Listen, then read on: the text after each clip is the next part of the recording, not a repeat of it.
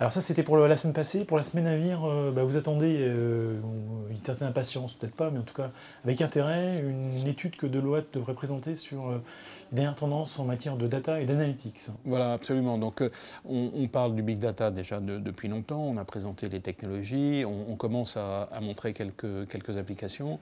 Et donc là, c'est le cabinet Deloitte qui, qui va présenter, publier une, une étude sur l'utilisation des big data de manière assez concrète puisqu'on on va balayer euh, cinq métiers de l'entreprise.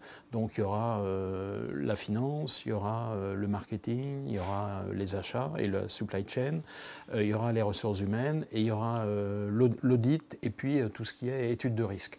Et on sait que dans ces différents domaines, le big data peut avoir des, utilisations extrêmement différentes et, et, aussi peut poser peut-être des problèmes. Par exemple, l'utilisation des big data dans les RH, on voit bien qu'il y a un peu le, la crainte du Big Brother qui, qui, est, derrière là.